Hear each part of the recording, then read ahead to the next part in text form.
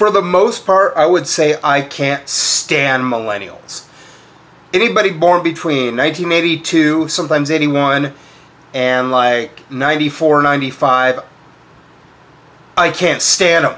Like, uh, I've met younger people than that, like Gen Z and the kids, which they call like Generation Alpha. It's hard to diss like a three year old. They're so cute. But like, uh, like, uh, Gen Z, like, there's a lot of them I do like. Uh, Gen X, a lot of Gen, Z, Gen X I like, a lot of baby boomers, a lot of uh, silent generation, even older people than that that are still alive. Like, uh, there, there are some of every generation that I like. But when it comes to millennials, I can't stand them. Like, uh, I give them the benefit of the doubt. I always do.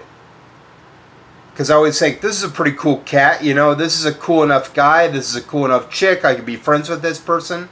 But within like three days, it's like every problem is somebody else's problem other than their own to them. Or they're baiting me into these conversations. Like the nicest people, some of the nicest millennials I've met, will bait me into these conversations where it's like I have to explain myself over and over and over again, and it doesn't sink in. With a lot of Gen Z, they just get it. They're like, okay, you're older, you seem legit, we get it. Good terms with you. You're like the older friend. We get it, we like you. Uh, as long as you treat us with respect, we're going to treat you with respect. A lot of Gen X are like that. A lot of uh, baby boomers, silent generation, you know, after a while, they get it or they get it right away. But with like millennials, as soon as they sort of get it, they become self righteous and self absorbed and think they're perfect. And it's everybody's problem but their own.